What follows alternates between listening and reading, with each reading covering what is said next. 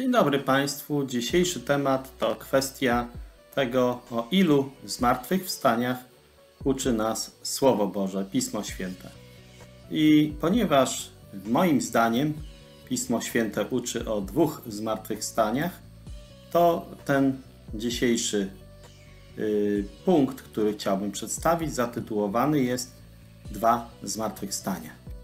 I Pismo Święte uczy w najbardziej przejrzysty i stanowczy sposób, że wszyscy zmar zmarli powstaną. Czyli ci wszyscy, którzy umarli, których teraz święto zmarłych też jest y, na dniach, czy już było, y, to oni któregoś dnia powstaną. Żadna doktryna wiary wynikająca z Pisma Świętego nie opiera się bardziej na dosłownej interpretacji i bezpośredniej interpretacji Pisma Świętego. Ani też żadna inna doktryna nie jest bardziej podstawowa w wierze chrześcijańskiej niż doktryna o zmartwychwstaniu. Wszelkie kombinacje przy doktrynie dotyczącej zmartwychwstania kończą się bardzo źle. Dlatego jest bardzo ważne, abyśmy rozumieli to, co Pismo Święte w tym zakresie wyraźnie, ponad wszelką wątpliwość mówi. Bo jeśli nie ma zmartwychwstania, to i Chrystus nie został wzbudzony. A jeśli Chrystus nie został wzbudzony, wtedy i kazanie nasze daremne. Daremna też jest wiara wasza. Jesteście dalej w swoich grzechach. 1 Koryntian 15 rozdział 13-15. Jest to bardzo istotne, aby zauważyć, że Pismo Święte nie uczy, że wszyscy umarli zmartwychwstaną w jednym momencie. To jest bardzo błędne założenie. Częściowo zmartwychwstanie świętych już się zaczęło, już się rozpoczęło. Czyli częściowo zmartwychwstanie świętych już zaszło. Yy, czytamy o tym w Mateusza 27, 52. I groby się otworzyły. I wiele ciał świętych, którzy zasnęli, zostało wzbudzonych. I wyszli z grobów po Jego zmartwychwstaniu, po zmartwychwstaniu Pana Jezusa. I weszli do świętego miasta i ukazali się wielu. Tak mówi Ewangelia Mateusza, 27 rozdział, 52 do 53 wersetu. Dwa zmartwychwstania zatem różnią się od tego zmartwychwstania yy, względem czasu oraz względem tego, kto będzie przedmiotem wzbudzenia zmartwych. I oba zmartwychwstania, o których dzisiaj mówię, są jeszcze przyszłością. Odróżniane są przez takie sformułowania jak powstanie do życia i powstanie potępienia oraz zmartwychwstanie sprawiedliwych. Łukasza 14:14 14. to jest pierwsze miejsce, które właśnie mówi o tym. I będziesz błogosławiony, bo nie mają ci czym odpłacić. Odpłatę bowiem będziesz miał przy zmartwychwstaniu sprawiedliwych. Czyli jest coś takiego jak zmartwychwstanie sprawiedliwych. I dzieje apostolskie 24:15. Dzieje apostolskie 24 15 Pokładając Bogu nadzieję, która również im samym przyświeca, że nastąpi zmartwychwstanie sprawiedliwych i niesprawiedliwych. Czyli widzimy, jest to oddzielone. Oto niektóre fragmenty ze Słowa Bożego potwierdzające te spostrzeżenia dotyczące tego ważnego tematu. Pierwsze miejsce to jest Jana, 5 rozdział 28-29.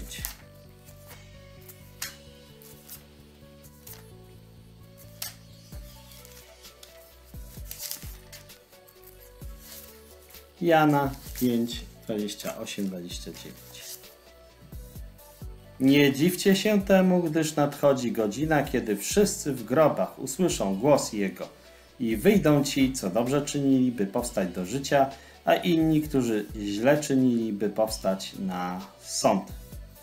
Zatem widzimy, że nie dziwcie się temu, gdyż godzina nadchodzi, kiedy wszyscy w grobach usłyszą głos Jego i wyjdą ci, co dobrze czynili, na powstanie do życia, a inni, którzy źle czynili, na powstanie potępienia.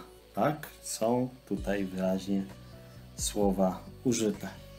Jeżeli ktoś zwracałby uwagę na to, że słowo godzina no zazwyczaj jest krótka, może sugerować równoczesność zmartwychwstania tych dwóch grup, to można wtedy takiej osobie pokazać, że godzina z wiersza 25 trwa już 1900 lat. Czyli jeżeli widzimy Zaprawdę, zaprawdę powiadam wam, zbliża się godzina, owszem już nadeszła, kiedy umarli usłyszą głos Syna Bożego i ci, co usłyszą, żyć będą. Czyli jednoznacznie widzimy, że ta godzina z wiersza 25 trwa już 1900 lat. Możemy to także porównać z słowem dzień użytym w 2 Piotra, trzeci rozdział, ósmy werset. Niech to jedno. Umiłowani, nie uchodzi uwagi waszej, że u Pana jeden dzień jest jak tysiąc lat, a tysiąc lat jak jeden dzień. To są słowa z 2 Piotra 3,8. 2 Koryntian 6,2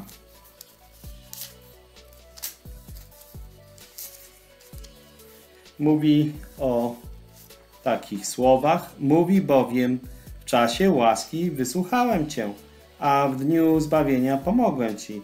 Oto teraz czas łaski. Oto teraz dzień zbawienia. Czyli widzimy jednoznacznie, że jest tutaj mowa o czasie łaski, który trwa bardzo długo. Słowo godzina jest tu użyta. Jana 8:56. Kolejne świadectwo. 8:56.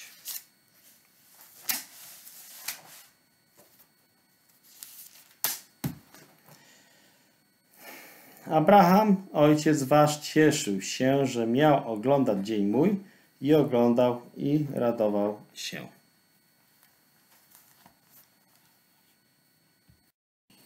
Więc jak widzimy w Jana 8:56 Abraham, ojciec wasz, cieszył się, że miał oglądać dzień mój i oglądał i radował się. Dzień tutaj jest ewidentnie więcej, dłuższy niż jest to y, ujęcie jednodniowe. Ten dzień trwa bardzo długo.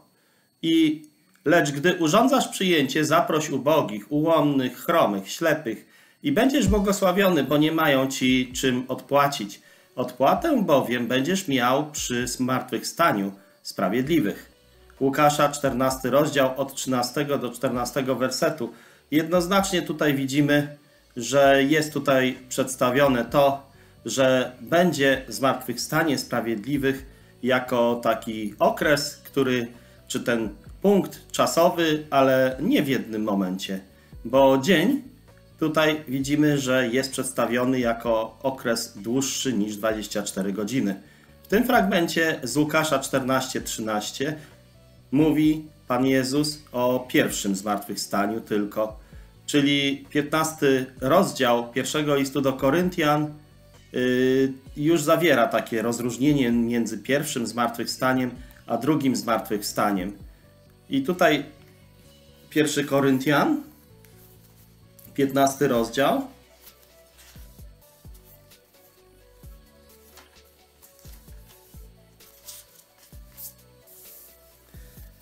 Dwudziesty drugi werset.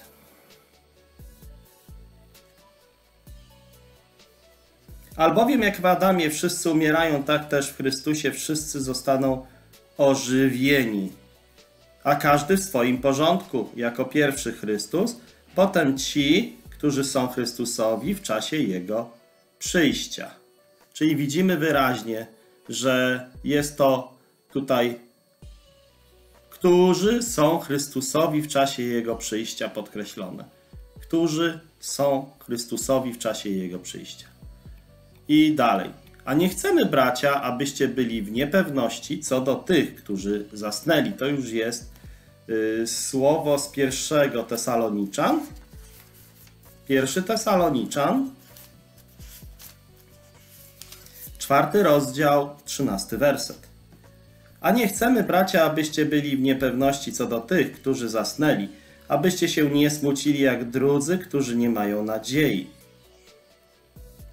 Albowiem jak wierzymy, że Jezus umarł i zmartwychwstał, tak też wierzymy, że Bóg przez Jezusa przywiedzie z nim tych, którzy zasnęli. Widzimy wyraźnie. I dalej. A to mówimy na podstawie słowa Pana, że my, którzy pozostaniemy przy życiu aż do przyjścia Pana, nie wyprzedzimy tych, którzy zasnęli. Gdyż sam Pan nadany rozkaz na głos Archanioła i trąby Bożej wstąpi z nieba. Wtedy najpierw powstaną ci, którzy umarli w Chrystusie.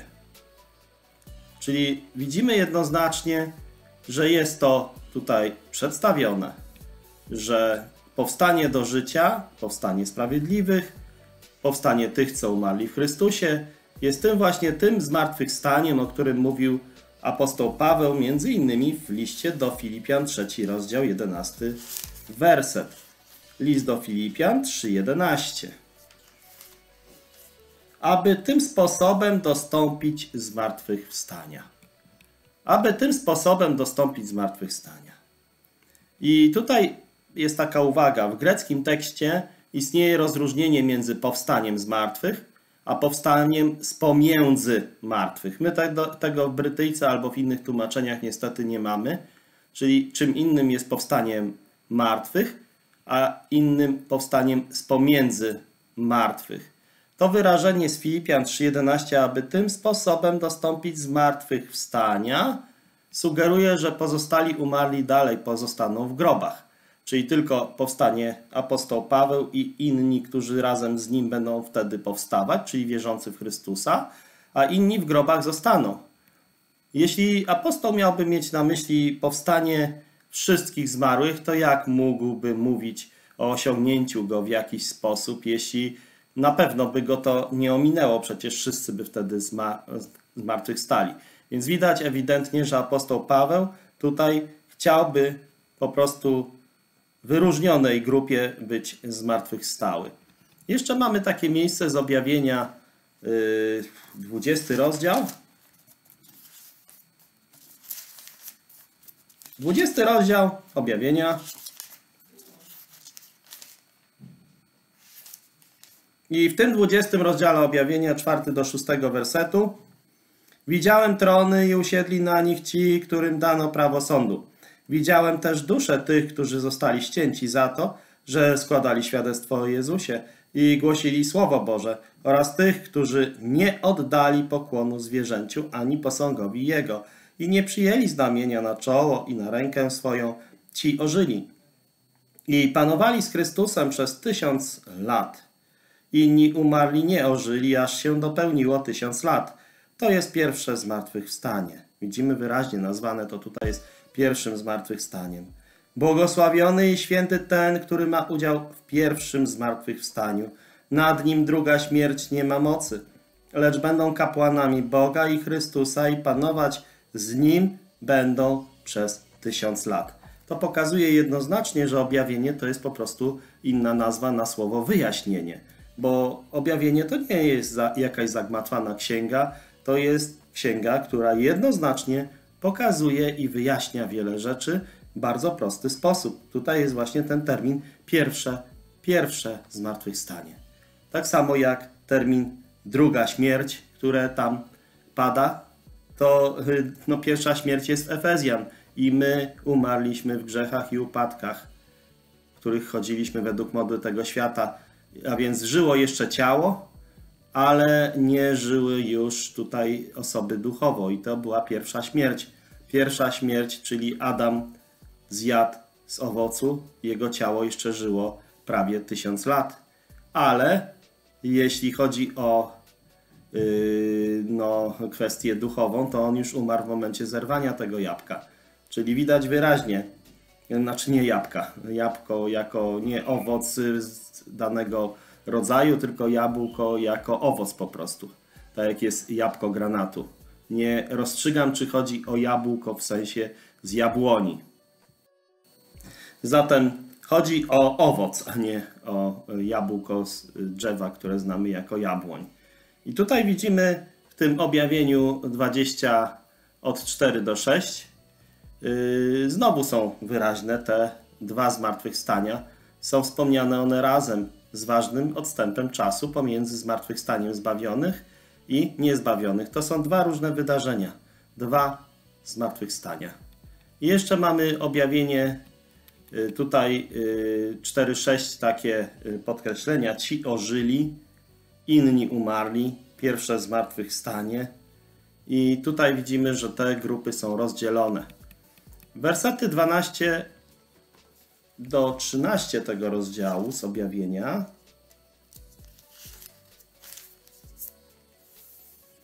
I wydało morze umarłych, którzy w nim się znajdowali. Również śmierć i piekło wydały umarłych, którzy w nich się znajdowali. I byli osądzeni każdy według uczynków swoich. I śmierć i piekło zostały wrzucone do jeziora ognistego. Owo jezioro ogniste to druga śmierć. Te wersety 13 i 12 pokazują yy, jeszcze 12 werset. I widziałem umarłych wielkich i małych stojących przed tronem i księgi zostały otwarte, również inna księga została, yy, inna księga, księga żywota została otwarta i osądzeni zostali umarli na podstawie tego, co zgodnie z ich uczynkami było zapisane w księgach. Czyli widzimy, te wersety pokazują nam, powstanie tych umarłych na potępienie. To są ci ludzie, którzy umarli po raz pierwszy popełniając grzech, bo jest napisane, że w Efezjan, przytoczę ten fragment. I to jest pierwsza śmierć opisana w Efezjan. Efezjan drugi rozdział. I wy umarliście przez upadki i grzechy wasze, w których niegdyś chodziliście według modły tego świata, naśladując władcę, który rządzi w powietrzu, ducha, który teraz działa w synach opornych. Wśród nich i my żyliśmy niegdyś w porządliwościach ciała, czyli to życie w porządliwościach ciała apostoł Paweł tu nazywa śmiercią pierwszą, tak? Czyli umali przez upadki i grzechy. Śmierć pierwsza. A śmierć druga to jest, gdy umiera ci ciało i oczekujesz na wrzucenie w wieczny ogień, jeśli jesteś niepojednany, albo jeżeli chrześcijanin umiera mu ciało, to on tylko zasypia i on czeka na powstanie z martwych spośród umarłych. Dlatego są to dwie różne kategorie. Tak? Świadectwo Pisma Świętego jasno uczy, że ciała wierzących będą wzbudzone spośród ciał niewierzących i pochwycone zostaną na spotkanie Pana tysiąc lat przed wzbudzeniem niewierzących na potępienie.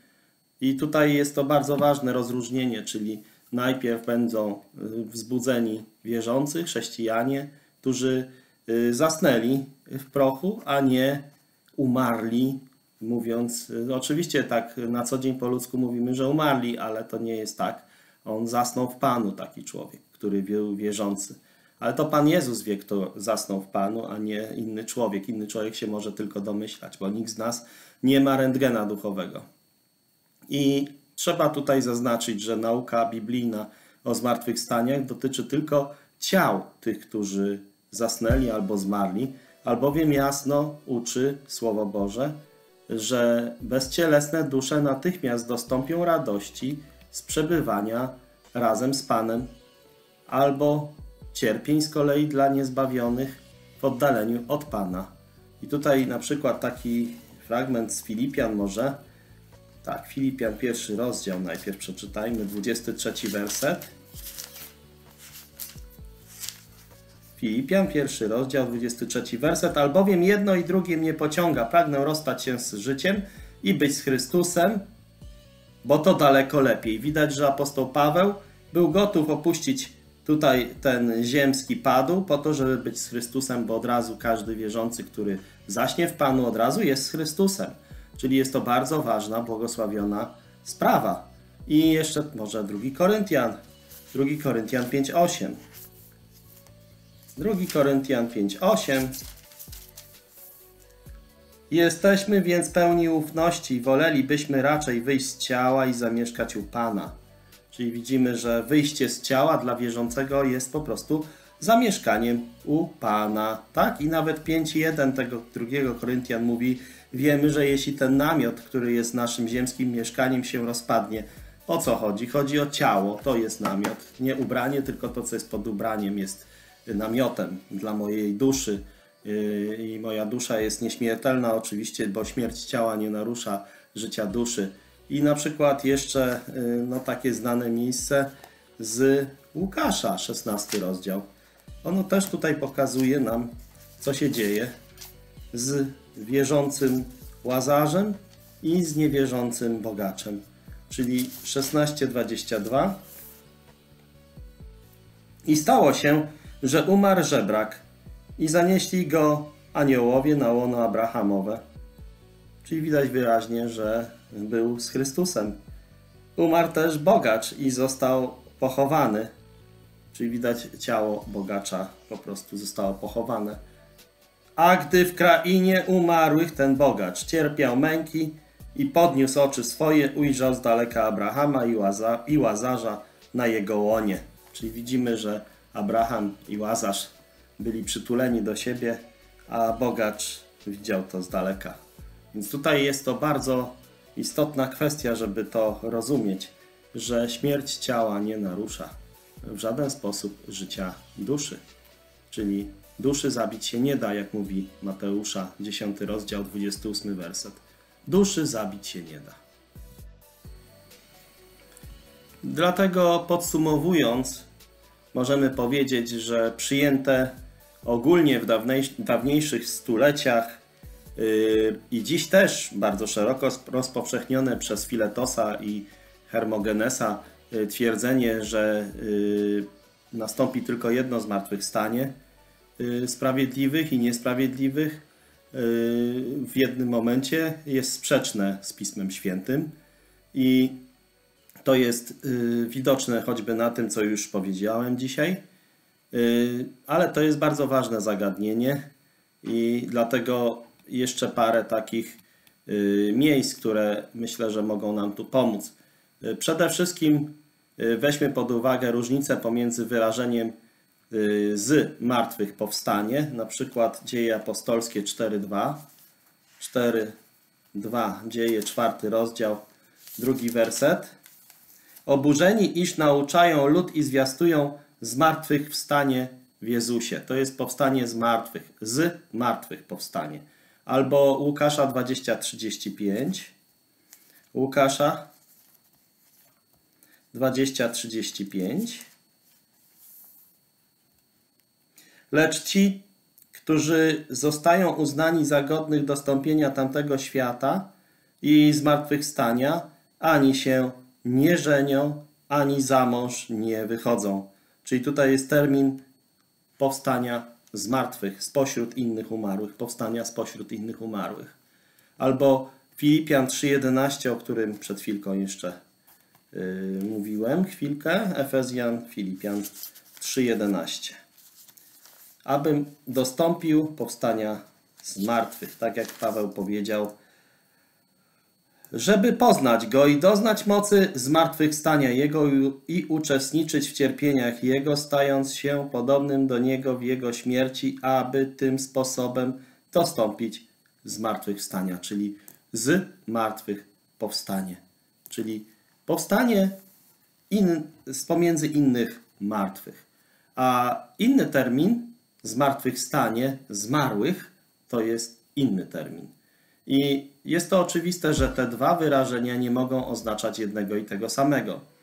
Wyrażenie zmartwychwstanie zmarłych oznacza zmartwychwstanie wszystkich zmarłych, a w sensie ściślejszym zmartwychwstanie duchowo umarłych, czyli z martwych powstanie dla kontrastu, czyli powstanie z martwych pośród martwych powstanie, przedstawia natomiast tylko część, nie cały zakres zmartwychwstania zmarłych już samo wyrażanie się yy, po prostu w taki niedokładny sposób robi tu wiele szkody. Ja sam temu jestem winien często, ale tutaj trzeba na to kłaść y, bardzo duży nacisk. I już samo wyrażenie z martwych wyraźnie wskazuje na to, że podczas gdy wszyscy znajdować się będą w grobach, niektórzy spośród tych, którzy znajdują się w grobach, yy, zmartwychwstaną Tak się stało właśnie z Panem Jezusem Chrystusem. Powstał z martwych. I to 1 Koryntian 15:12 o tym mówi. 1 Koryntian 15:12. A jeśli się o Chrystusie opowiada, że został z martwych zbudzony, jakże mogą mówić niektórzy między wami, że zmartwychwstania nie ma? I to wyraźnie widać, że tak się też stanie ze świętymi. I to mówi Łukasza 20:35. Łukasza 20:35. Łukasza 20:35. Łukasza 20:35. I tutaj Łukasza 20:35 to jest Łukasza, rozdział 20:35. Lecz ci, którzy zostaną uznani za godnych dostąpienia tamtego świata i zmartwychwstania, ani się nie żenią, ani za mąż nie wychodzą. Czyli wyraźnie widzimy, że tak się stanie ze świętymi. I zwróćmy się teraz może do takiego fragmentu dosyć dokładniej mówiącego o zmartwychwstaniu, czyli 1 Koryntian 15 rozdział od 1 do 28. 1 Koryntian 15 od 1 do 28. A przypominam wam, bracia, Ewangelię, którą wam zwiastowałem, którą też przyjęliście i w której trwacie i przez którą zbawieni jesteście, jeśli ją tylko zachowa- zachowujecie tak, jak wam ją zwiastowałem. Chyba, że nadaremnie uwierzyliście. Najpierw bowiem podałem wam to, co i ja przejąłem, że Chrystus umarł za grzechy nasze według Pism i że został pogrzebany i że dnia trzeciego został z martwych wzbudzony według Pism i że ukazał się Kefasowi, potem dwunastu, potem ukazał się więcej niż pięciuset braciom naraz, z których większość dotychczas żyje, niektórzy zaś zasnęli. Potem ukazał się Jakubowi, następnie wszystkim apostołom, a w końcu po wszystkich ukazał się i mnie jako poronionemu płodowi. Ja bowiem jestem najmniejszym z apostołów i nie jestem godzien nazywać się apostołem, gdyż prześladowałem Kościół Boży. Ale z łaski Boga jestem tym, czym jestem, a łaska Jego okazana mi nie była daremna, lecz daleko więcej niż oni wszyscy pracowałem. Wszakże nie ja, lecz łaska Boża, która jest ze mną. Czy więc ja, czy oni, to samo opowiadamy i tak uwierzyliście. A jeśli się o Chrystusie opowiada, że został z martwych wzbudzony, jakże mogą mówić niektórzy między wami, że zmartwychwstania nie ma? Bo jeśli nie ma zmartwychwstania, to i Chrystus nie został wzbudzony. A jeśli Chrystus nie został wzbudzony, wtedy i kazanie nasze daremne, daremna też wasza wiara. Wówczas też byliśmy fałszywymi świadkami Bożymi, bo świadczyliśmy o Bogu, że Chrystusa wzbudził, którego nie wzbudził, skoro umarli nie bywają wzbudzeni.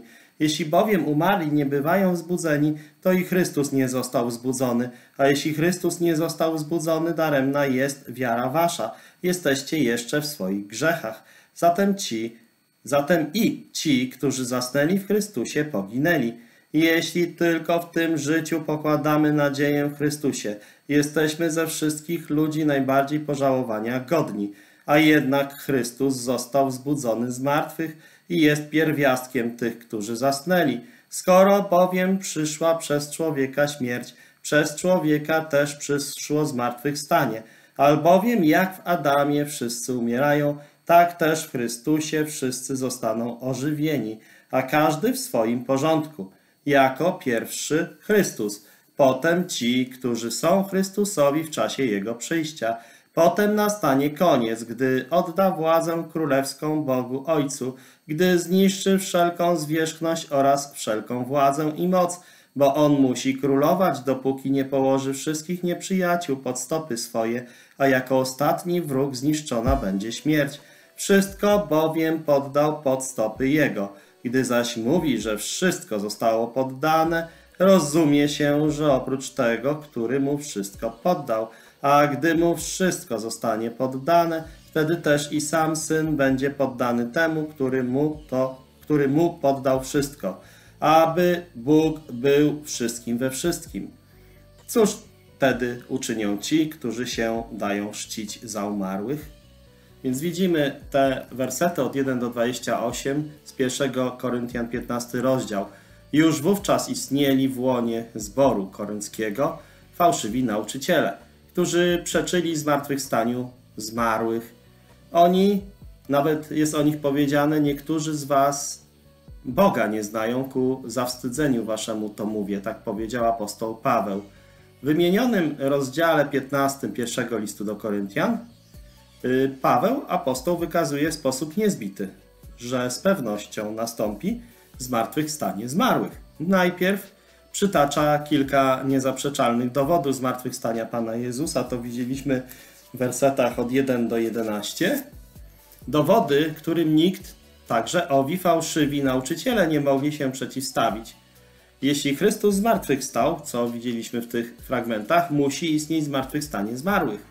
I to widzimy w wersetach 12 do 19.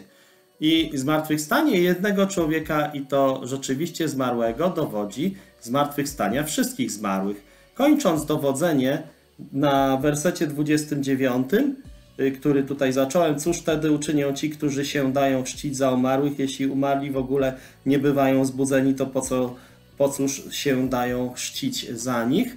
Daje nam w międzywierszu od 20 y, do 28 ogólne zestawienie wydarzeń mających związek ze zmartwychwstaniem i tutaj apostoł Paweł rozpoczyna prostymi, lecz tak pełnymi yy, po prostu treści słowami ale Chrystus z martwych wzbudzony został. Stał się pierwiastkiem tych, którzy zasnęli. Cóż z tych słów wynika? To jest jednoznaczne, że jeśli Chrystus zmartwychwstały jest pierwiastkiem, tak? czyli takim pierwszym tych, którzy zasnęli, to i ci śpiący muszą na równi z nim z martwych powstać. I tutaj muszą, tak jak Pan Jezus Chrystus, opuścić nie tylko śmierć, ale i umarłych. Prawda ta jeszcze dokładniej zostanie nam widoczna, jeżeli popatrzymy na werset 23, a każdy w swoim porządku, jako pierwszy Chrystus, potem ci, którzy są Chrystusowi w czasie Jego przyjścia. Czyli każdy zaś w swoim porządku. Pierwiastek Chrystus, a potem ci, co są Chrystusowi w czasie Jego przyjścia. Są to słowa bardzo ważne, godne uwagi naszej. Na Chrystusie dokonało się pierwsze zmartwychwstanie, powstanie z umarłych. Owszem, już przed zmartwychwstaniem Jezusa byli wzbudzani zmarli, zarówno w Starym Testamencie, jak i podczas wędrówki Pana Jezusa po ziemi, lecz były to wskrzeszenia zupełnie innego rodzaju. To było całkowicie co innego. Wtedy dusze zmarłych powracały w te same ciała, które opuściły, by znów po pewnym czasie, jak przed śmiercią, żyć na ziemi i umrzeć, no w sensie, że ciało znowu im umarło po raz drugi. Zmartwychwstanie zaś Pana Jezusa jest zupełnie inne. Było przeciwnie, zapoczątkowaniem zupełnie nowego stanu nowego stworzenia. To jest całkowicie inna kwestia, dlatego piąty rozdział drugiego listu do Koryntian mówi o tym nowym stworzeniu. Jeśli ktoś jest w Chrystusie, nowym jest stworzeniem, stare przeminęło, to wszystko stało się nowe. Więc zmartwychwstanie Pana Jezusa jest zapoczątkowaniem zupełnie nowego stanu, czyli tego, co nazywamy nowym stworzeniem. Dlatego też nazywany on jest pierwiastkiem tych, którzy zasnęli a wszyscy jego prawdziwi wyznawcy za jego przybyciem, podobnie jak on, powstaną z martwych w nowym, chwalebnym, uwielbionym ciele, by odtąd wiecznie z nim przebywać. I słowo pierwiastek, no jeżeli ktoś zna matematykę, to wie, że tam jest na przykład pierwiastek z czterech to jest dwa. Pierwiastek drugiego stopnia. To znaczy, że dwa razy dwa dało liczbę cztery, tak? Albo pierwiastek z 1 to jest 1, bo 1 razy 1 dało nam wynik 1. Albo pierwiastek z 9 to jest 3, bo 3 razy 3 dało 9. Tak? Więc Chrystus jest tutaj mocą zamieszkałego w nim yy, życia, tak? Bo to widzimy, żeby wyjaśnić o co chodzi, to Jana drugi rozdział otwórzmy. Tam wyraźnie Pan Jezus mówi,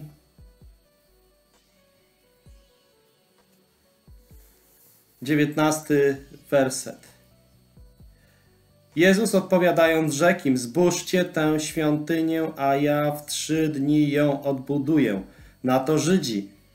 46 lat budowano tę świątynię, a ty w trzy dni chcesz ją odbudować? Ale on mówił o świątyni ciała swego. Gdy więc został zbudzony z martwych, przypomnieli sobie uczniowie jego, że to mówił i uwierzyli pismu i słowu, które wyrzekł Jezus. Czyli widzimy, że Pan Jezus sam odbudował tę świątynię, a więc mówiąc wprost, On sam siebie wzbudził z martwych. Tak? Chrystus mocą zamieszkałego w nim życia pokonał śmierć. My, ale też jest takie, że kładę swoje życie, aby je znowu wziąć. Pan Jezus miał pełną kontrolę nad tym, żeby to życie położyć swoje i z powrotem sam je wziął. Więc jeśli mówimy uwierz Pana Jezusa, będziesz zbawiony i łączymy to z Rzymian 10:9, bo jeśli ustami swoimi wyznasz, że Jezus jest Panem i uwierzysz w sercu swoim, że Bóg zbudził go z martwych, zbawiony będziesz. Bóg zbudził go z martwych. To nie dotyczy jedynie Ojca, ale dotyczy całej Trójcy Świętej, Boga Ojca, Boga Syna i Boga Ducha Świętego, bo również Pan Jezus Chrystus położył życie, aby je znowu wziąć, tak? Bóg Ojciec skrzesił Pana Jezusa i też wiemy, że Duch Święty skrzesił Pana Jezusa z martwych. Więc cała Trójca była w to zaangażowana, każda z osób Bożych.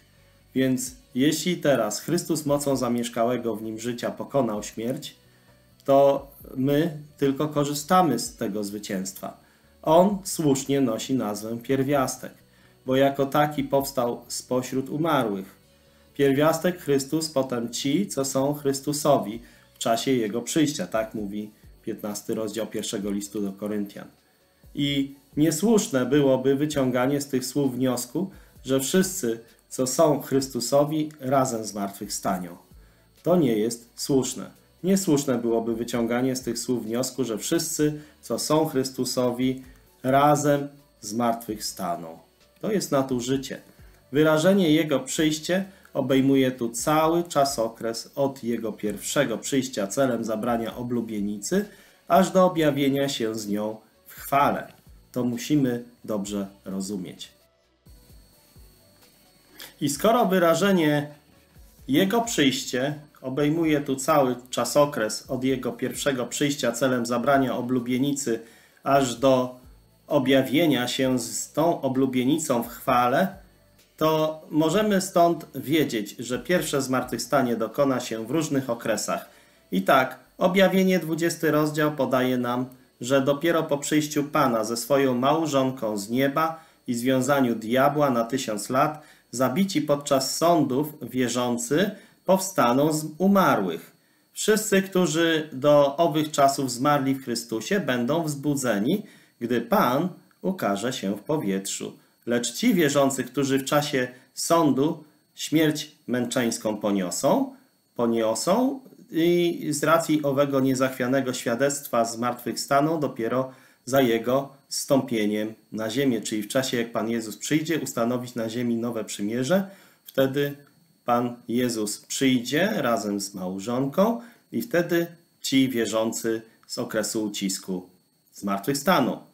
To jest właśnie bardzo ważne, żebyśmy to wiedzieli. I obie te grupy wierzących należą, jak Pan i Zbawiciel nasz y, określił, do pierwszego zmartwychwstania. To nie jest coś y, odrębnego. A potem koniec. Czytaliśmy w 1 Koryntian 15 rozdział. Jaki koniec? Oddanie całej władzy i panowania ze strony Chrystusa w ręce Ojca, aby Bóg był wszystkim we wszystkich, werset 28. A gdy mu wszystko zostanie poddane, wtedy też i sam syn będzie poddany temu, który mu poddał wszystko, aby Bóg był wszystkim we wszystkim.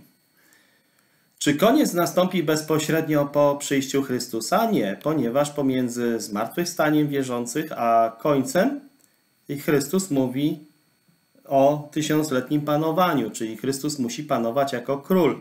A potem koniec, gdy odda królestwo Bogu i Ojcu, i gdy zniszczy wszelką zwierzchność i wszelką władzę i moc, bo On musi panować, dopóki nie położy wszystkich nieprzyjaciół pod nogi Jego. A jako ostatni nieprzyjaciel, jako ostatni nieprzyjaciel, bo tak jest to określone w Słowie Bożym, jako ostatni nieprzyjaciel będzie zniszczona śmierć. Są to wyraźne i stanowcze słowa Pisma Świętego. Chrystus po wskrzeszeniu z umarłych i pojednaniu ze sobą wszystkich swoich wierzących panować będzie jako król. Wszyscy nieprzyjaciele upadną do jego nóg i ostatecznie zniszczy on także śmierć, ostatniego wroga. Przez wywiedzenie wszystkich zmarłych, to znaczy wszystkich nienależących do pierwszego zmartwychwstania z grobów. Ten sposób ta śmierć zostanie zniszczona. Wtedy przyjdzie wspaniały koniec.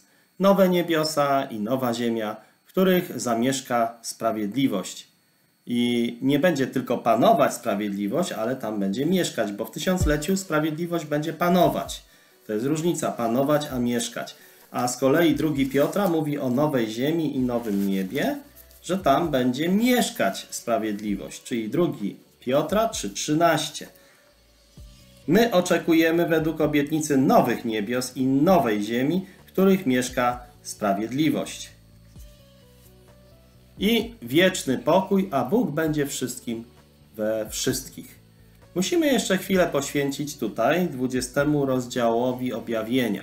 Czytamy tam, że po przystąpieniu niebiańskich świętych do panowania z Chrystusem i po wskrzeszeniu z sądów, do wskrzeszeniu w czasie sądów wiernych, y, to insi, insi z umarłych nie ożyli. To jest 20 rozdział, 5, 6 werset. Inni umarli nie ożyli, aż się dopełniło tysiąc lat. To jest pierwsze zmartwychwstanie. Błogosławiony i święty ten, który ma udział w pierwszym zmartwychwstaniu, nad nimi druga śmierć nie ma mocy. Lecz będą kapłanami Boga i Chrystusa i panować z, nimi, z Nim, z Nim będą przez tysiąc lat. Czyli jeżeli byśmy popatrzyli na ten tekst, to widzimy wyraźnie, insi z umarłych nie ożyli, aby się ażby się skończyło tysiąc lat, czyli do czasu, aż się skończy tysiąc lat. To jest pierwsze zmartwychwstanie. Tu wyraźnie to słowo pada. To jest pierwsze zmartwychwstanie. Czyli nie da się tego z niczym pomylić.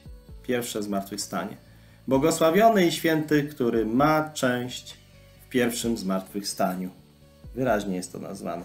Jeśli ktoś twierdzi, że nie ma pierwszego zmartwychwstania oddzielającego odróżniającego się od drugiego zmartwychwstania, no to tutaj musi coś z tym wersetem zrobić. A nie da się nic z tym zrobić, jak tylko przyjąć, że Słowo Boże mówi prawdę. Albowiem nad tymi druga śmierć mocy nie ma, nad chrześcijanami druga śmierć mocy nie ma, tym, którzy uwierzyli w Pana Jezusa, ale będą kapłanami Bożymi i Chrystusowymi i będą z Nim królować, królować tysiąc lat. I tutaj w tych słowach jest wyraźnie powiedziane, i te słowa nie da się ich z niczym innym pomylić. Są to niedwuznaczne słowa, że nastąpi pierwsze i drugie zmartwychwstanie. Pierwsze zmartwychwstanie jest, jak to jasno już przedstawiłem dzisiaj, powstaniem z umarłych, gdyż pozostali z umarłych nie ożyli.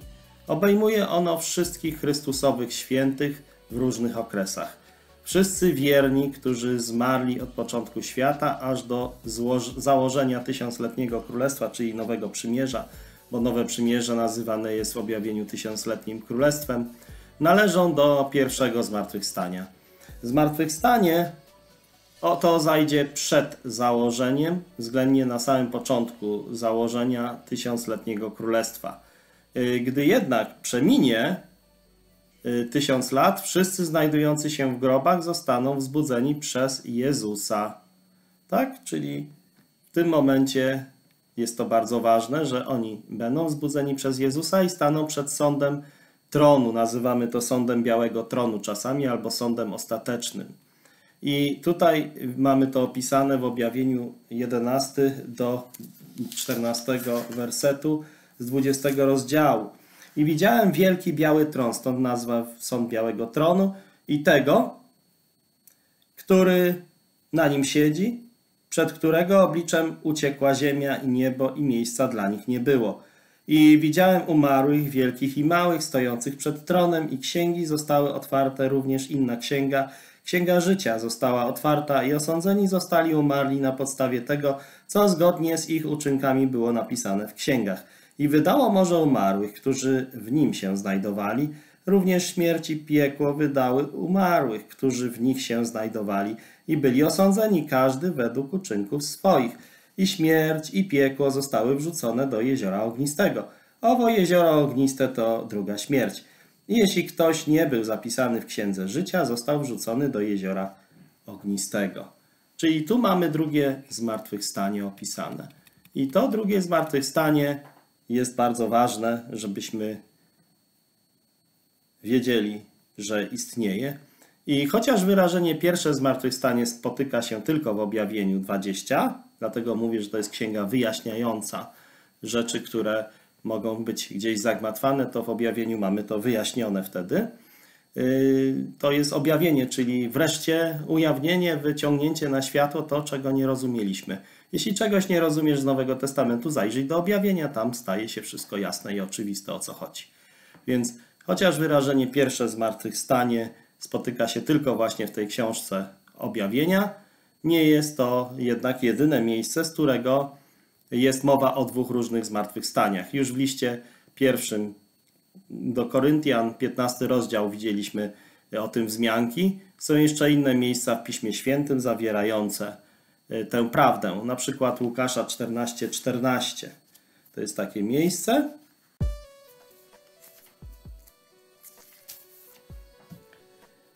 I będziesz błogosławiony, bo nie mają ci czym odpłacić odpłatę, bowiem będziesz miał przy zmartwychwstaniu sprawiedliwych. Czyli widać, że Pan Jezus tu mówi o pierwszym zmartwychwstaniu. Będziesz błogosławiony, gdyż nie mają ci czym odpłacić.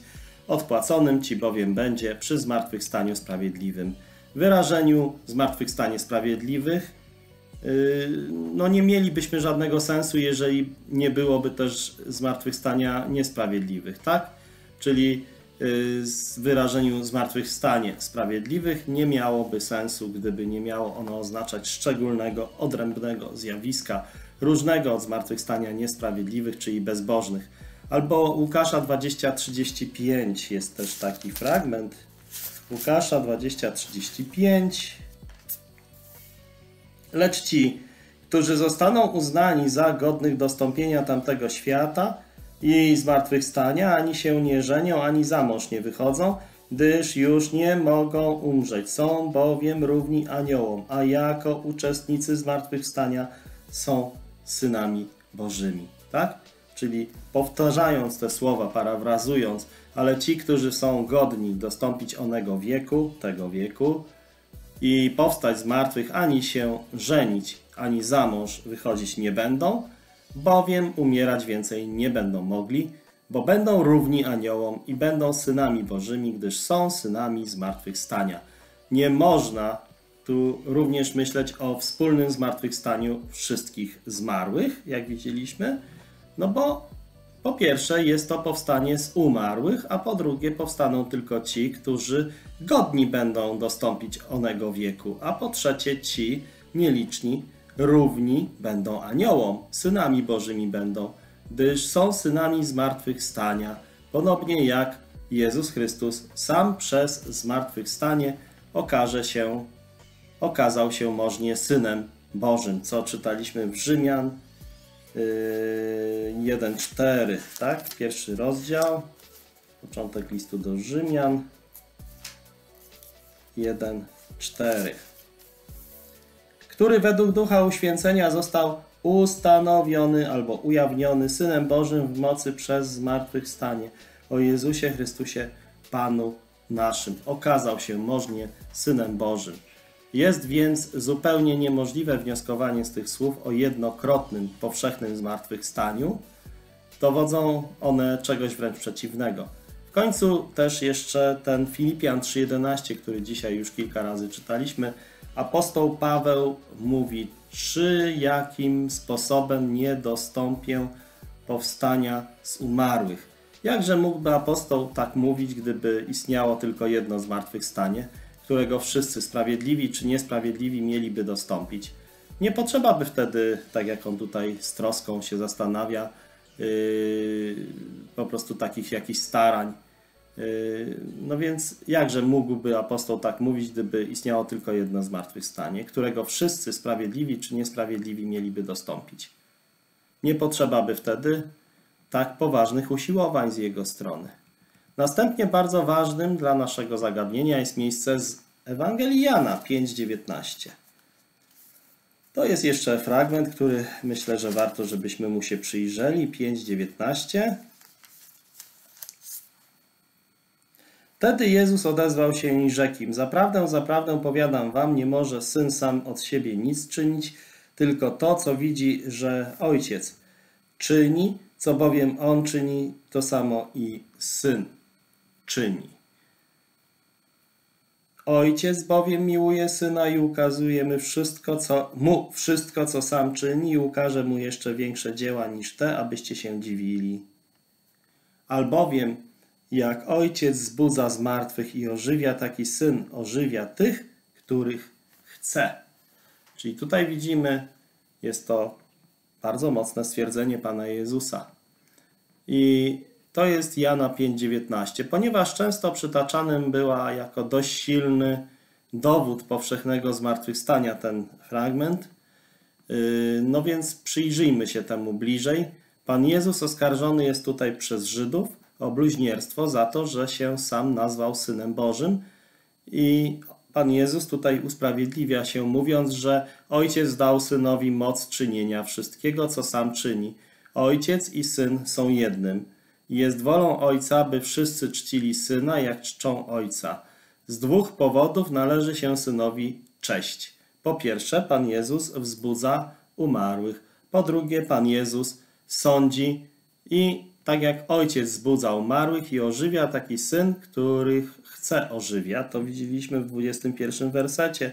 Albowiem jak Ojciec wzbudza zmartwych i ożywia, taki Syn ożywia tych, których chce. Czyli jest tutaj wyraźnie powiedziane. Jest to pierwszy dowód Jego boskiej władzy. Daje życie i daje je komu chce.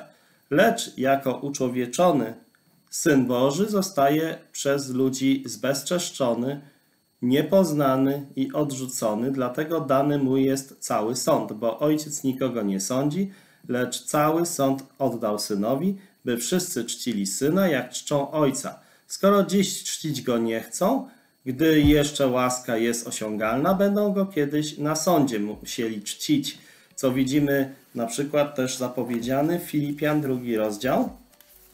Filipian drugi rozdział 9:11. Dlatego też Bóg wielce wywyższył go i obdarzył go imieniem, które jest ponad wszelkie imię, aby na imię Jezusa zginało się wszelkie kolano na niebie i na ziemi i pod ziemią i aby wszelki język wyznawał, że Jezus Chrystus jest Panem ku chwale Boga Ojca. Czyli jednoznacznie widzimy, ci jednak, którzy zostali ożywieni przez Ojca i Syna, nie podpadną sądowi, lecz przejdą ze śmierci w życie. Mamy o tym przecież powiedziane w trzecim rozdziale, 18 werset Ewangelii Jana, że kto wierzy w Syna ma życie wieczne i nie będzie sądzony. Jakże jednak wierzący przejdą w to życie? Odpowiedź y, widzimy w 25 wersecie. Zaprawdę, zaprawdę powiadam wam, że idzie godzina i teraz jest, gdy umarli, to znaczy duchowo umarli w występkach i grzechu, usłyszą głos Syna Bożego, a którzy usłyszą, żyć będą. Nie zmartwychwstanie, lecz duchowe życie otrzymają. Godzina ta nadeszła już wówczas i trwa do końca czasów łaski.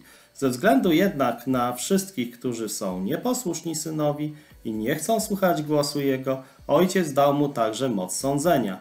I tutaj Pan Jezus mówi: Nie dziwujcie się temu, nie dziwcie się temu. Mówi Pan Jezus, bo przyjdzie godzina, w której wszyscy, co są w grobach, usłyszą głos Jego, to znaczy wszyscy umarli, nie tylko duchowo umarli, jak w wersecie 25, i wyjdą ci, którzy dobrze czynili na powstanie życia, ale ci, którzy źle czynili na powstanie sądu. To mamy w wersetach 28-29 5 rozdziału Ewangelii Jana.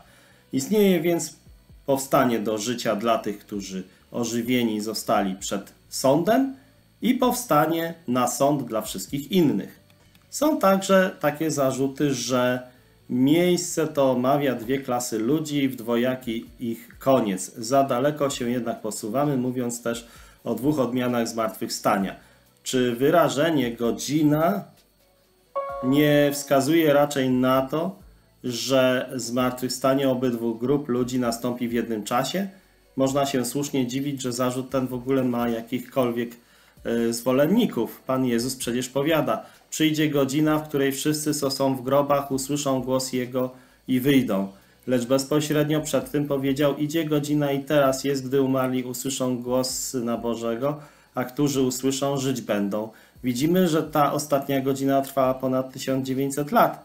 Dlaczego godzina, o której jest mowa w 28 wersecie, nie mogłaby trwać tysiąc lub więcej lat? Słowo godzina oznacza często w Piśmie Świętym okres, liczący setki lat. Tak i Jan powiada na przykład. Dzieci, oto ostatnia godzina w liście Jana.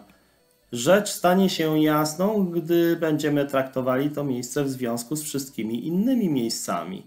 Zatem, powtarzając, pogląd, że istnieje tylko jedno jedyne zmartwychwstanie sprawiedliwych i niesprawiedliwych, nie może się utrzymać przy dokładnym badaniu Pisma Świętego.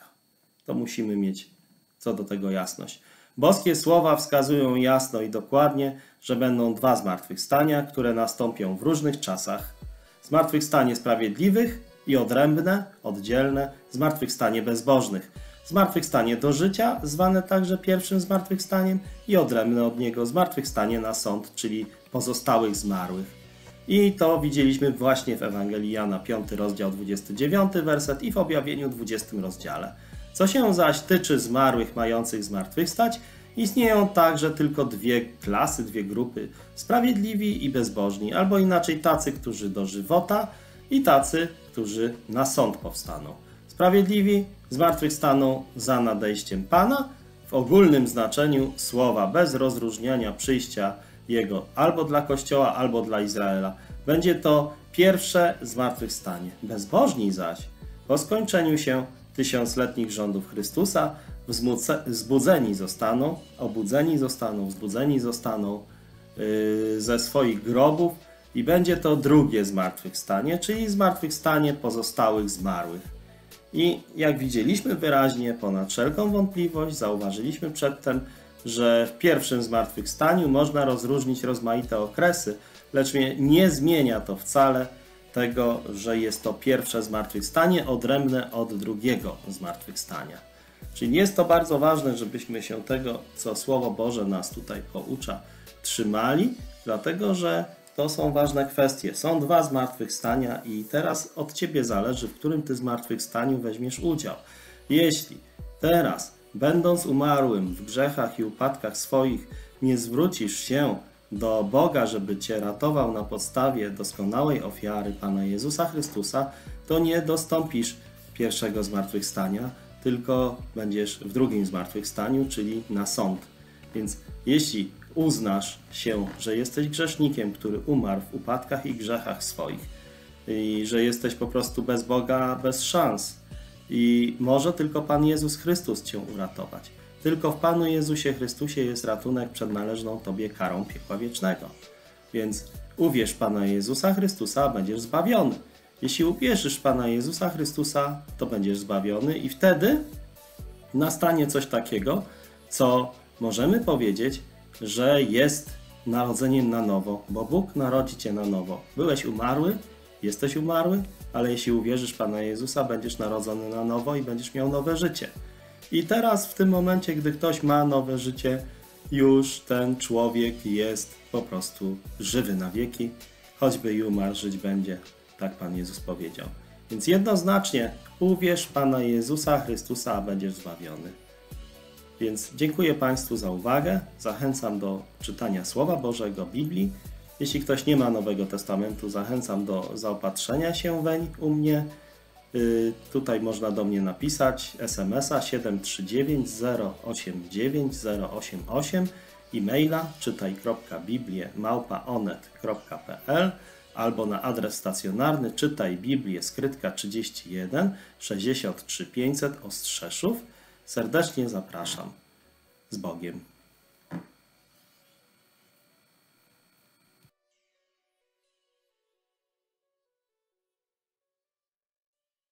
Uwierz Pana Jezusa, a będziesz zbawiony.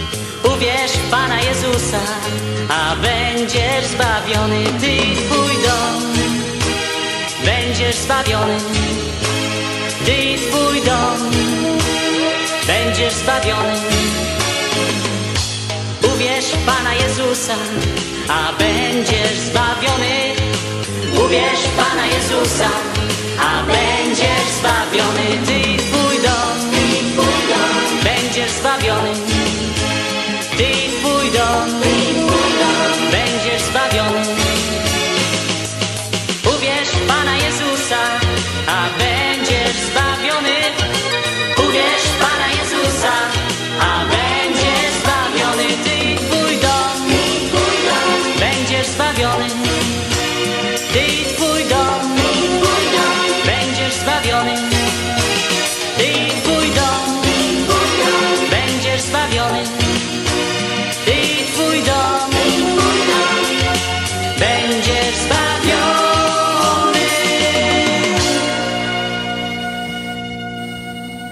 Serdecznie Państwa witam. Dzisiaj trochę nietypowo, bo chcę zachęcić Was do zaopatrzenia się w takie kalendarzyki. I one są u mnie bezpłatnie dostępne. Pierwsza rzecz to jest tutaj z tej strony werset Jana, trzeci rozdział, szesnasty werset. On mówi tak: Albowiem tak Bóg umiłował świat, że syna swojego jedynego dał, aby każdy, kto w niego wierzy, nie zginął, ale miał życie wieczne. Czyli jednoznacznie widzimy, że słowo to przekonuje tego człowieka, który dostanie taki kalendarzyk, że Bóg go miłuje i że za niego został dany syn Boży, i każdy, kto wierzy w Pana Jezusa, nie zginie, ale ma życie wieczne. Czyli, że zbawienie jest nieutracalne i pewne, dlatego że ono jest w Synu, w Panu Jezusie Chrystusie. Z drugiej strony jest temat przewodni w tym roku, czyli pewność.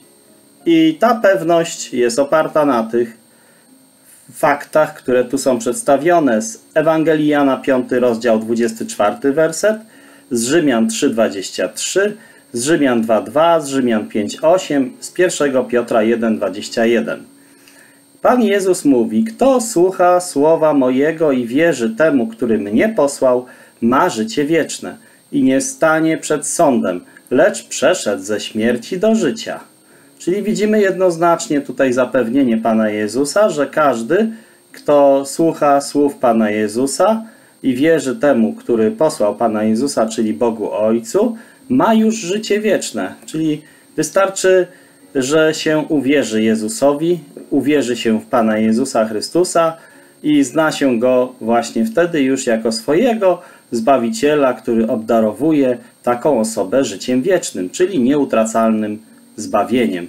Nie ma możliwości utracić takiego zbawienia, które jest darowane przez Pana Jezusa Chrystusa na podstawie doskonałej ofiary Pana Jezusa Chrystusa dokonanej na krzyżu Golgoty. Jest tutaj bardzo ciekawe zapewnienie i nie stanie przed sądem, lecz przeszedł ze śmierci do życia. Czyli nie stanie taki człowiek, który uwierzył Panu Jezusowi Chrystusowi na sądzie. Czyli można by powiedzieć, że nawet jeśli ktoś chciałby go wrzucić do piekła i skazać za jego grzechy na piekło, to nie będzie jak, bo on nie stanie na sądzie. Nie ma takiej opcji, nie ma w ogóle takiej możliwości, żeby taki człowiek trafił na rozprawę sądową. A przecież rozprawa sądowa jest konieczna, żeby na sądzie ostatecznym takiego człowieka skazać na karę piekła. Ale nie będzie takiej rozprawy w jego przypadku. I kolejny fragment, gdyż wszyscy zgrzeszyli i brak im chwały Bożej. Czyli ten fragment przekonuje nas o tym, że wszyscy zgrzeszyli. Nie jest tak, że ci ludzie, którzy są zbawieni, są jacyś lepsi czy jakoś świętsi. Nie, wszyscy zgrzeszyli i brak im chwały Bożej. Ale na podstawie doskonałej ofiary Pana Jezusa Chrystusa największy nawet podlec, największy nawet grzesznik może stać się usprawiedliwionym bezbożnikiem. I taki usprawiedliwiony bezbożnik jest raz na zawsze zbawiony, nieutracalnie zbawiony, bo życie wieczne jest po prostu wieczne właśnie dlatego, że się nigdy nie kończy. I bo wiemy, że sąd Boży słusznie spada na tych, którzy takie rzeczy czynią. Czyli widzimy, jest wspomniany sąd Boży. Nie jest to tak, że nie ma sądu Bożego, ale ten cały sąd Boży spadł na Pana Jezusa Chrystusa. W przypadku osoby wierzącej jest to wystarczające zapewnienie, że kto wierzy w Pana Jezusa ma życie wieczne, bo cały sąd należny grzesznikowi, cały sąd należny mi spadł na Pana Jezusa i dlatego ja jestem wolny od potępienia, jestem wolny, nawet nie stanę na sądzie. Dalej, kiedy byliśmy jeszcze grzesznikami, Chrystus za nas umarł. Czyli widzimy wyraźnie, że kiedy jeszcze byłem grzesznikiem, kiedy jeszcze byłem daleko od Boga, już wtedy Bóg dał swojego Syna, Chrystusa Jezusa, aby Chrystus Jezus za mnie umarł.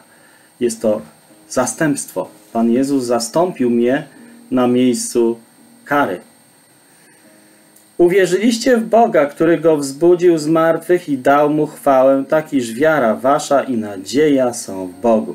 Czyli ona się, ta moja nadzieja, pewność życia wiecznego nie opiera na mnie, na moich uczynkach, tylko opiera się na doskonałej ofierze Pana Jezusa Chrystusa. I tak wygląda ten kalendarzyk właśnie z tej strony, gdzie te wersety są. Taki ładny motylek, który reprezentuje narodzenie na nowo, a z tyłu jest po prostu kalendarzyk, który jest na każdy dzień. Na dole macie Państwo mój adres, czyli kanału, tak? Czyli można powiedzieć, że jest to od razu. Jeżeli chcielibyście, żeby inni ludzie mogli do mnie napisać, to też ten kalendarzyk jest takim punktem, który może pomóc zapamiętać ten adres, który jest potrzebny, żeby można się skontaktować w sprawie właśnie otrzymania czy to Nowego Testamentu, czy też jakiejkolwiek innej korespondencji. Ten drugi kalendarz, do którego zachęcam, ma takie miejsca biblijne. Pierwsze miejsce biblijne, albowiem tak Bóg umiłował świat, że Syna swojego jedynego dał, aby każdy, kto w Niego wierzy, nie zginął, ale miał życie wieczne. To jest Ewangelii Jana, trzeci rozdział, szesnasty werset. Już o tym wersecie mówiliśmy. On tu nas zapewnia, że Bóg miłuje każdego człowieka, bez wyjątku i bez różnicy. I swojego Syna jedynego dał za każdego grzesznika, aby każdy, kto w Jezusa wierzy, miał życie wieczne, nie zginął, nie poszedł na potępienie. I to jest bardzo mocny fragment, który jednoznacznie pokazuje, że zbawienie jest darmo z łaski na podstawie wiary Pana Jezusa Chrystusa i że zbawienie jest nieutracalne, nie da się go zarobić i nie da się go stracić. Kolejny fragment ze Słowa Bożego w tym kalendarzu jest takiej postaci. Czyli widzimy, że jest to 2 Koryntian 8:9. Znacie łaskę Pana naszego Jezusa Chrystusa, że będąc bogatym, stał się dla was ubogim, abyście ubóstwem Jego ubogaceni zostali.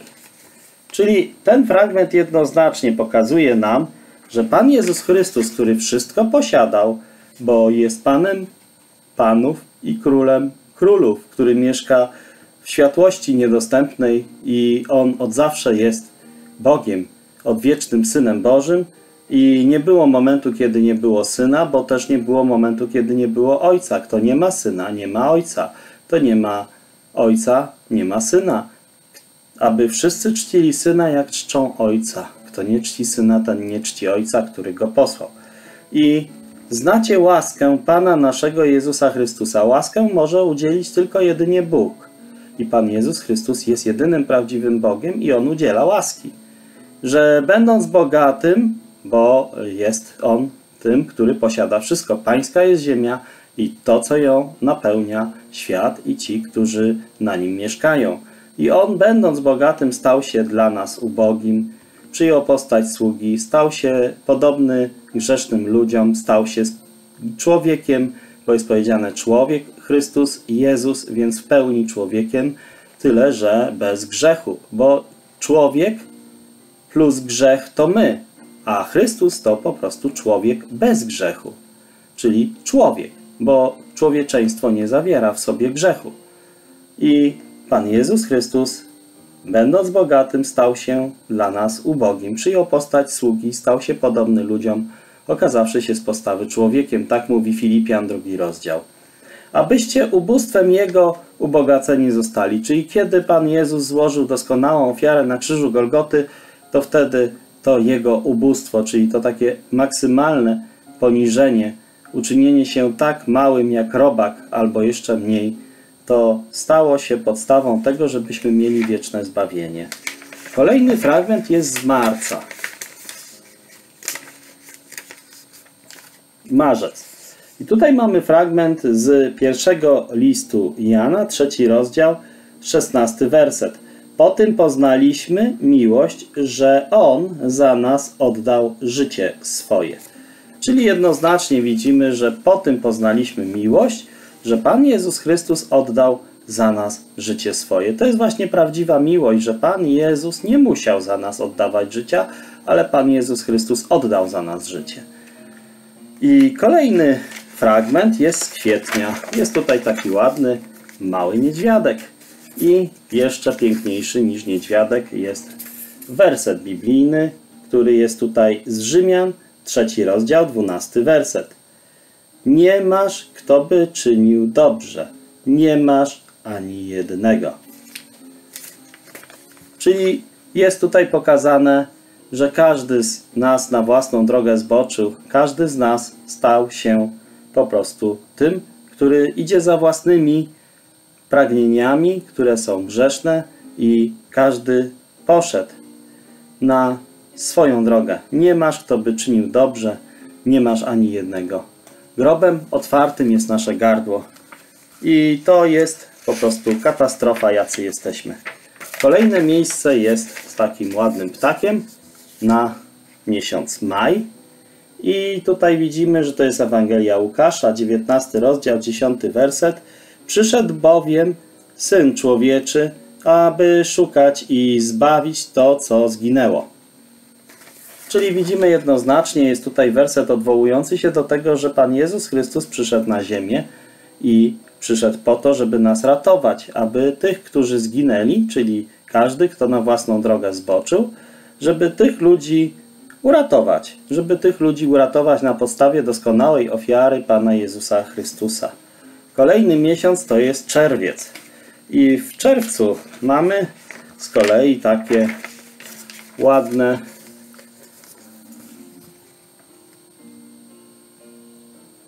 miejsce biblijne, które jest z pierwszego Tymoteusza, drugi rozdział, piąty i szósty werset. Jeden jest Bóg, jeden też pośrednik między Bogiem a ludźmi, człowiek Chrystus Jezus.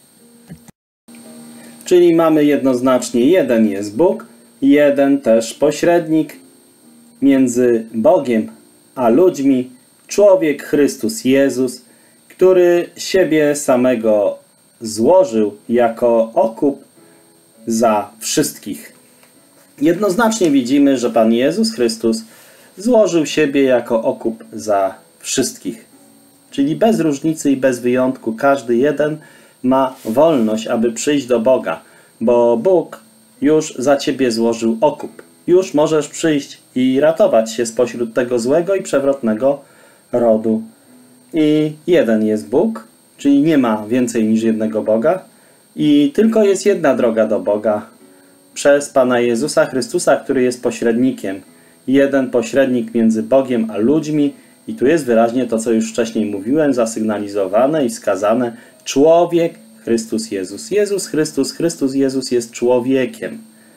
I Pan Jezus siebie samego złożył jako okup za wszystkich.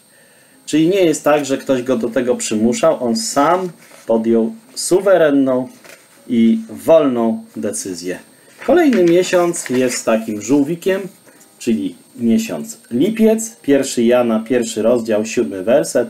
Krew Jezusa Chrystusa, Syna Jego, oczyszcza nas od wszelkiego grzechu. Czyli widzimy tutaj jednoznacznie wskazane na to, że Pan Jezus Chrystus, który przelał swoją krew, bo bez rozlania krwi nie ma odpuszczenia, to Pan Jezus Chrystus oczyszcza tych, którzy są zbawieni swoją krwią od wszelkiego grzechu. Nawet jeżeli się zdarzy upadek, to ten upadek jest oczyszczony krwią Pana Jezusa Chrystusa. Tak więc, jeśli ktoś uwierzy w Pana Jezusa Chrystusa, jego grzechy przeszłe, teraźniejsze i przyszłe są oczyszczone właśnie tą krwią Pana Jezusa Chrystusa. I też ta krew ma moc oczyszczać od tego, żeby te wszystkie grzechy po prostu nie pojawiały się później w życiu wierzącego.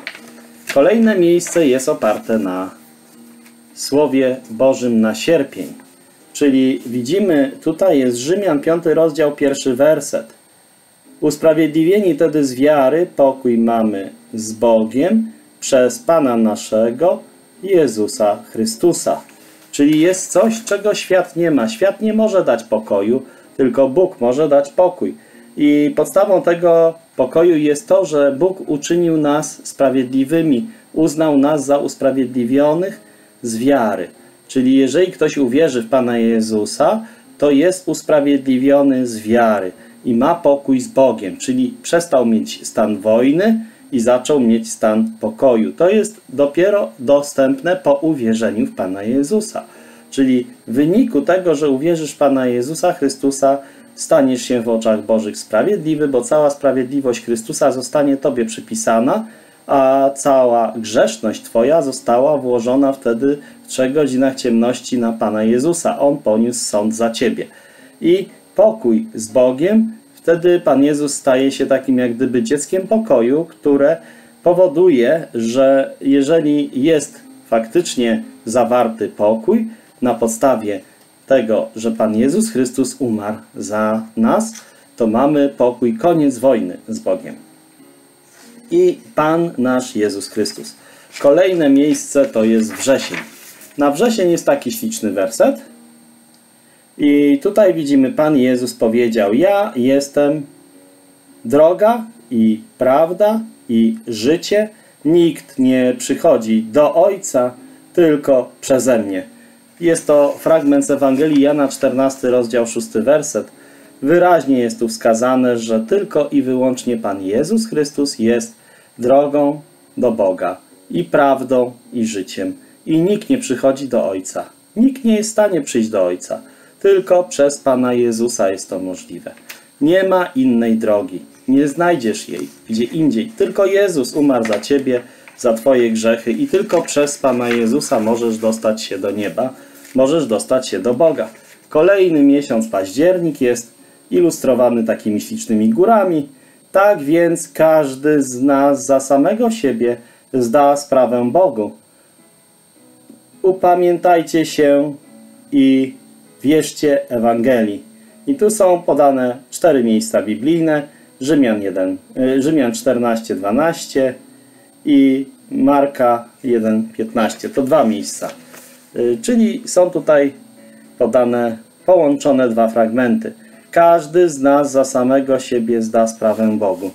Więc jeśli nie przyjmiesz zbawienia, jeśli nie przyjmiesz tego, że Pan Jezus umarł za Ciebie na krzyżu Golgoty, jeśli nie uwierzysz Jezusowi Chrystusowi, no więc wtedy zdasz sprawę przed Bogiem z tego, że tego nie uczyniłeś i czeka Cię żar ognia, który będzie trawił przeciwników. Natomiast jest to ważne, żeby się upamiętać i wierzyć Ewangelii. Upamiętanie albo uznanie się, albo pokuta, zależy którego przekładu używamy, to jest właśnie uznanie, że ja nie jestem święty. Bóg jest święty, a ja nie jestem święty, czyli nie jestem w stanie nic zrobić z własnych sił, żeby przyjść do Boga, bo Bóg jest święty, a ja nie jestem święty, więc wszystko, co ja robię, nie jest święte, a więc, żeby być z Bogiem, musiałbym się stać święty, ale nie jestem. Dlatego jest konieczne, żeby Pan Jezus Chrystus umarł za moje grzechy i wtedy moja grzeszność jest przypisana Jezusowi Chrystusowi, a świętość Pana Jezusa Chrystusa jest przypisana mi. Albo inaczej, jestem wtedy już ukryty w Chrystusie. I jestem tak święty jak Chrystus, bo Bóg patrzy na mnie tak jakby przez Chrystusa. I te dwa wersety właśnie o tym mówią że mamy się uznać, że jesteśmy grzeszni i tylko w Bogu jest ratunek, a ten ratunek jest przez Jezusa Chrystusa, Pana naszego, przez Pana Jezusa. Listopad, z kolei taki śliczny wodospad, ja jestem zmartwychwstanie i życie. Kto we mnie wierzy, choćby i umarł, żyć będzie. To jest Ewangelii Jana 11:52.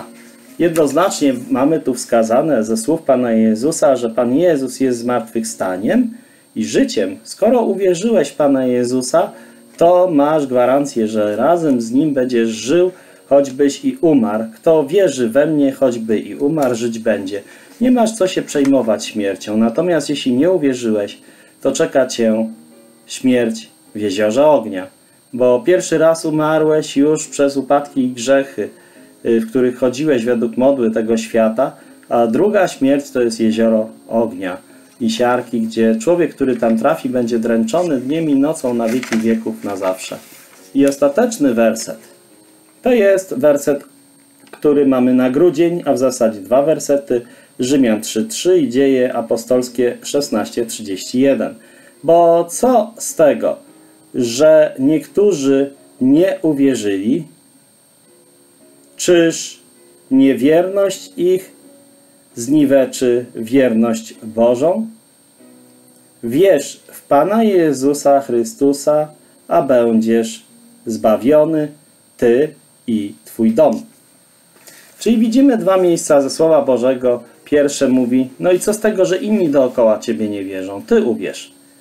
Zatem, jeśli uwierzysz w Pana Jezusa Chrystusa, będziesz zbawiony, raz na zawsze zbawiony, bo kto jest zbawiony, ten jest raz na zawsze zbawiony. Tak jak powiedziałem, te dwa typy kalendarzyków są u mnie bezpłatnie dostępne. Zachęcam do tego, żeby się w nie zaopatrzyć. Y, Jak się zaopatrzyć? Proszę na numer telefonu 739 089 088 wysłać informację, na jaki adres mam wysłać te kalendarze. Ile sztuk sobie życzysz tych kalendarzy? Proszę, żebyś nie zamawiał ich za dużo, tak żeby się u Ciebie kurzyły. Po prostu jeśli rozdasz tą pierwszą część, którą Ci wyślę, zamówisz drugą partię. Nic się nie stanie, jak troszkę później dostaniesz drugą część. Bo jest to po prostu ważne, żeby to się u Ciebie nie kurzyło. Są takie y, osoby, które potrafią dużo kalendarzy rozdać w krótkim czasie. Ja sam taki jestem i sam taki byłem już od 30 lat. I nie było dla mnie problemem, ile pudełek, ile setek, ile tysięcy. Po prostu się rozdawało i się rozdało. Natomiast są też osoby takie, które są y, bardziej oporne w rozdawaniu i na przykład rozdanie dwóch egzemplarzy stanowi dla nich już dużą barierę. I też trzeba to uszanować i trzeba znać siebie. Jeżeli jesteś taką osobą, która jest w stanie rozdać maksymal, no maksymalnie trzy kalendarze, no to napisz, że chcesz trzy. Jeżeli y, chcesz pięć, nie ma problemu. Tak jak mówiłem, podstawową wielokrotnością jest 10 kalendarzy takich albo 20-30 takich, może 50 takich, tak? Czyli te się rozdaje od ręki masowo, można je włożyć w ulotkę, a te drugie rozdaje się też oddzielnie. I zachęcam do kontaktu, czyli na ten numer 739 089 088 podaj adres, na jaki można i należy wysłać tą przesyłkę z kalendarzami. Podaj tam dokładnie też ile chcesz i jakiego typu kalendarzy. I bardzo ważne, jest potrzebne imię, nazwisko osoby odbierającej, ulica, adres z numerem i kod pocztowy i miejscowość i telefon. Formularz, ja korzystam z Impostu. Formularz zawiera też y, pole na e-mail. To nie jest problem, bo ja najczęściej wpisuję swój e-mail. Jeśli wolisz dostać powiadomienie na Twojego e-maila, to wtedy tego e-maila podaj. Telefonu nie przeskoczę, musi być telefon Twój, bo jak ja wpisuję swój, to coś tam wyskakuje błąd w systemie, nie da się tego przejść. I też jest bardzo ważne, jeśli masz paczkomat w swojej okolicy, możesz podać mi, do którego paczkomatu wolisz otrzymać. To jest wtedy być może sprawniej niż czekać na kuriera i się z nim rozmyślać, rozmijać. Serdecznie Państwu dziękuję za uwagę, zachęcam do zamawiania tych kalendarzy, ale przede wszystkim zachęcam do uwierzenia Panu Jezusowi Chrystusowi, bo bez uwierzenia Panu Jezusowi Chrystusowi idziesz na wieczne zginienie do jeziora ognia i siarki. I teraz jeszcze na zakończenie podaję mój numer telefonu, gdybyś miał pytanie 739 089 088 739 089 088 albo jeżeli powiem inaczej ten numer 739 089 088 adres stacjonarny czytaj Biblię skrytka 31 63 500 Ostrzeszów. I jeszcze e-mail czytaj.biblię tak zwana małpa onet.pl Zatem dziękuję Państwu za uwagę i z Bogiem.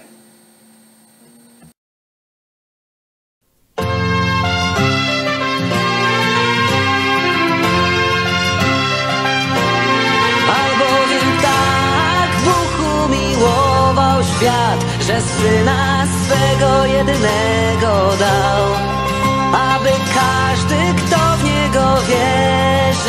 nie zginął, ale żywot wieczny miał.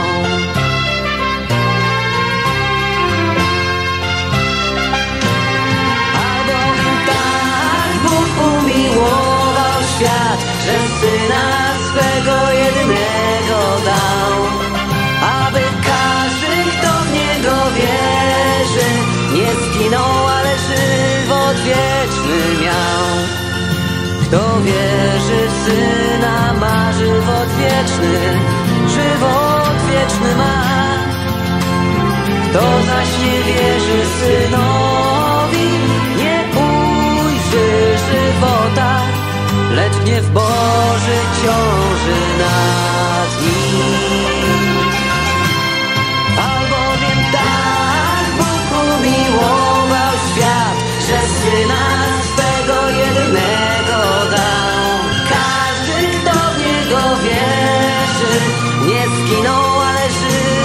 wieczny miał.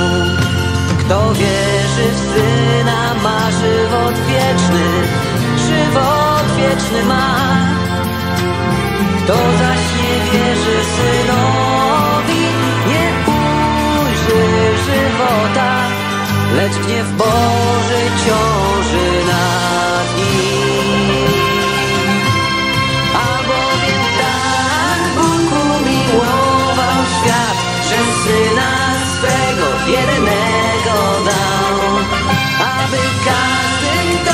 niego wierzy Nie zginął, ale żywot wieczny miał.